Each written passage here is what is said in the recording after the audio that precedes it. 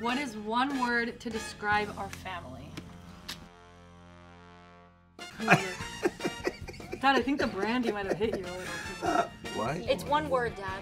It's I one did word. it, but my word is very long. Oh. All right, one, two, Two, three. three.